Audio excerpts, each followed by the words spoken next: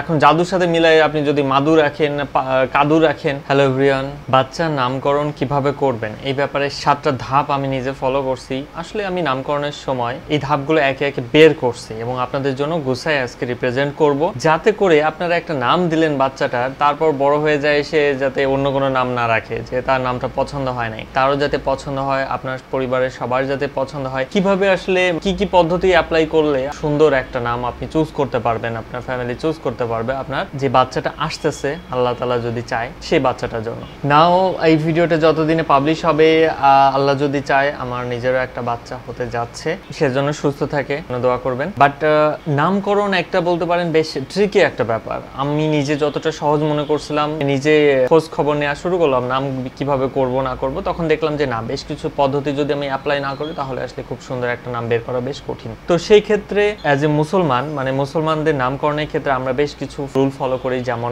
আমরা আরবি নাম খোঁজার চেষ্টা করি, আমরা একটু মধ্যপ্রাচ্যের দিকে নামটাই আসলে আমরা বেশি নেই। আমরা ইরানি নাম নিতে পারি, আমরা, এমনকি বাংলা নামও আমরা বেশ সুন্দর সুন্দর নাম রাখি, যেমন চাঁদ কিংবা আলো। তো এই ধরনের কিছু নাম যেগুলো এখনও আসলে পুরনো হয়ে যায় নাই, তো সেগুলো তো আছেই। ফার্স্ট অফ অল অনেকেই অনেক সাজেশন দিবে, এবং সেই সাজেশনগুলো গুছাবেন কীভাবে? এবং আপনি নিজেও ইন্টারনেট ঘেটে এবং অন্যান্য জায়গা থেকে অনেক ধরনের নাম পাবেন। হয়তো ইউটিউবে সার্চ দিলেই আপনি অনেক নামের ভিডিও পাবেন, যে একশোটা মুসলমান ছেলে বা মুসলমান মেয়ের নাম, তো এই ধরনের অনেক কিছুই পাবেন। প্লাস অনেকে আল্লাহ তালা নামের সাথে মানে গোলাম, আব্দুর রহিম, এই ধরনের মানে নামগুলো মিলায় রাখে, যে রহিমের গোলাম, এই ধরনের। তো এই ব্যাপারগুলো কমন ব্যাপারগুলো তো আছেই, এগুলো আপনি নিজেই রাখতে পারেন, যে আল্লাহ তালা নাম কিংবা সাহাবিদের নাম যদি আপনি রাখেন। বাট যদি আরবি নাম আপনি চুজ করতে যান, তাহলে দেখবেন যে অনেক ধরনের ডায়ালেক্ট আছে এবং সাহাবিদের নামে যদি আপনি লিস্ট খোঁজেন, তাহলে দেখবেন যে আমি উইকিপিডিয়াতে দেখলাম, অনেক সাহাবির নাম আসলে আমাদের ঢঙে যাবে না, তাদের সময়ের নামগুলো যেমন অনেক ক্ষেত্রে আমরা হয়তো রাখব না,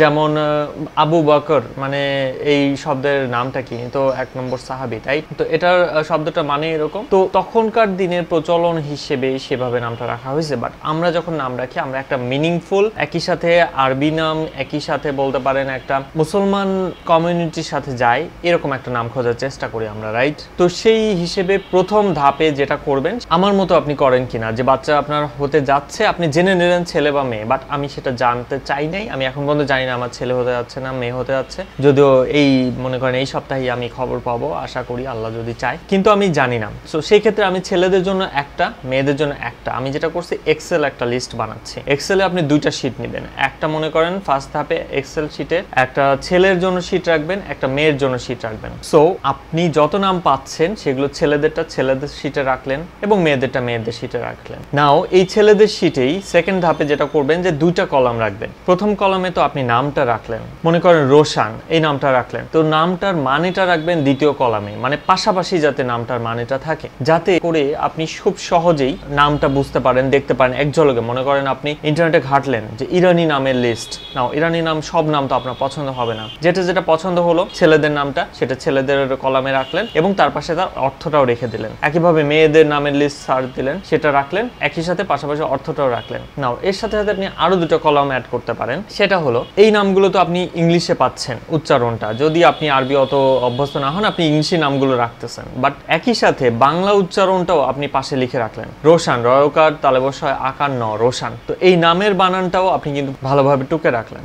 এক্সেল শিট করলে আপনি পাশাপাশি এক ঝলকে কিন্তু অনেক সুবিধাটা পাচ্ছেন। যে নামটা কি এবং নামের বানানটা কি। আপনি বিশটা, পঁচিশটা, তিরিশটা যতগুলো সাজেশন পান, সব এখানে লিখে রাখলেন, যেগুলো আপনার পছন্দ হলো। যেমন রোশান শব্দ, যেমন বললাম, রোশানের মানে হচ্ছে ব্রাইট লাইট পাশে লিখে রাখলেন। যেমন আরেকটা শব্দ আছে, আদিলে, এটা পাশে লিখে রাখলেন জাস্ট অনেস্ট মানেটা লিখে রাখলেন। নাও এভাবে আপনি লিস্টগুলো তো করলেন। এরপরে তিন নম্বর ধাপে আপনি যেটা করবেন, সেটা হচ্ছে নামটা কয় শব্দের রাখবেন। যেমন, মেয়েদের নামে এমন হতে পারে, মোসাম্মদ জান্নাতুল ফেরদৌসি। মানে দুইটা শব্দ মূল, জান্নাতুল ফেরদৌসি। আবার কেউ কেউ রাখতে পারে না, আমি একটা শব্দ রাখব। যেমন, ছেলেদের নাম হতে পারে, যে আপনি জাস্ট মোহাম্মদ হোসেন খান, কিংবা মোহাম্মদ হোসেন চৌধুরী, কিংবা হতে পারে যে মোহাম্মদ কবির চৌধুরী। তো মাঝখানে একটা শব্দ থাকতেছেন তো সারনেম এবং প্রথমের মোহাম্মদ বাদে। তো আপনি ঠিক করে নেবেন, আপনি একটা শব্দের নাম রাখতে যাচ্ছেন নাকি দুই শব্দের নাম রাখতে যাচ্ছেন? আমি মাঝখানটা মেইন করতেছি। অনেক সময় এমন হয় যে শব্দটা যদি আপনি ছোট চুজ করেন, তখন খুব হালকা মনে হয়। তখন দুইটা শব্দ হলে বেশি বেটার শ্রুতি মধুর ব্যাপারটা হয়। ফর এক্সাম্পল আমার নাম মোহাম্মদ ওমর ফারুক খান। এটাকে যদি শর্ট করেন, মোহাম্মদ ওমর খান। মানে একটু শর্ট শোনায়, কিংবা মোহাম্মদ ফারুক খান। তো একটু শর্ট শোনায়, একটু যেন মিসিং মনে হয়। এটা মিসিং এই জন্য যে আমার সাহাবির নাম ওমর ফারুক, সেটা থেকে আমি মিসিংটা টের পাচ্ছি। তো এইখানে অনেক ক্ষেত্রেই নামের মিনিংটার চাইতেও নামটা কতটুকু ভার রাখতেছে কিংবা নামটা কতটুকু ফুলফিল ফিল হচ্ছে, তো এই ব্যাপারটা বেশি জরুরি। চার নম্বর আরেকটা পয়েন্ট অবশ্যই মাথায় রাখবেন যে মোহাম্মদ এমডি লাগাবেন কি লাগাবেন না? অনেকের ক্ষেত্রে জাস্ট সুরুজ খান। তো এই ধরনের নামের ক্ষেত্রে আমার বলব, আমার সাজেশন মানে আমি যেটা চিন্তা করছি সেটা হচ্ছে আগে মোহাম্মদটা লাগায় না। অনেকে আবার মোহাম্মদ ফুল মোহাম্মদ ফর্মে লেখে যে এম ও এইচ এ মানে full form but short form রাখাটা আমার কাছে বেটার মনে হয়, কারণ মোহাম্মদ। মুসলিম ছেলেদের জন্য খুবই কমন নাম। তো সেক্ষেত্রে short form MD dot Mohammad short ফর্মটা রাখলেন। না হলে দেখা যাবে ভবিষ্যতে কনফিউশন তৈরি হতে পারে। হালকা পাতলা কিছু কনফিউশনের হাত থেকে আপনি আগে বেঁচে যাবেন যদি শুরুতে এই এমডিটা লাগায় রাখেন। একই সাথে মেয়েদের নামে ক্ষেত্রে মোসাম্মদ। এক ধরনের শ্রুতি মাধুর্য এক ধরনের কমপ্লিট ফুল নেম ফিলটা দেয় বলে আমার কাছে মনে হয়। অ্যাট দ্য সেম টাইম এটা ইসলামিক স্টাইলে নামটা রাখা। বাট শ্রুতি মাধুর্যের ব্যাপারটা আমার কাছে মনে হয় যে বেটার এমডি কিংবা মোসাম্মদ এমএসটি এটা লাগানোটা। পাঁচ নম্বর, আপনি যে দুটো শব্দ কিংবা একটা শব্দ যেটা রাখবেন, এটা যেন একটানে ডাকা যায়। বেশ গম্ভীর কোনো শব্দ রাখতে যাবেন না কিংবা বেশ কমপ্লিকেটেড কিছু রাখবেন না। ইউনিক খুঁজতে পারেন, কিন্তু অ্যাট দ্য সেম টাইম যদি দুটো শব্দ আপনি চুজ করেন, তাহলে দেখবেন যে একটা শব্দ যেন একটু ইজি হয়, যেটা ডাকা যায় খুব সহজে। তো এই ধরনের ইজি শব্দ যদি রাখেন, তাহলে দেখা যাবে যে তার পুরো নাম কিংবা ভালো নাম সেখান থেকে মানুষজন ডাকবে। না হলে ইউজুয়ালি দেখা যায় যে পুরো নামটা যদি অনেক ভারী হয়, সেক্ষেত্রে মনে করেন একটা ডাকনাম দিয়ে বসে। যেমন আমি একটা মেয়ের নাম বললাম, জান্নাতুল ফেরদৌস। তো বেশিরভাগ মানুষ দেখবেন ফেরদৌস কিংবা জান্নাতুল মানে এতটা বড় আকারে ডাকতে চায় না। তখন বাসার মানুষজন কিংবা অন্যরা আরেকটা ডাকনাম দিয়ে দেয়, ছোট ডাকনাম দিয়ে দেয়। তো এই প্রবণতা হাত থেকে বাঁচবেন যদি আপনার মূল নামটার মধ্যে একটা ছোট, একটানে ডাকা যায়, এরকম একটা ইউনিক নাম থাকে। এটা আপনি ফলো করতে পারেন। আরেকটা পয়েন্ট মানে যেটা মাথায় রাখবেন, সেটা হলো অনেকেই ভাই, বোন, বাবা, মা এদের সাথে মিলায় রাখতে যায়, এমন একটা নাম দেয়, যেটা আসলে খুব বেশি মিনিংফুল কোনো অর্থ নাই।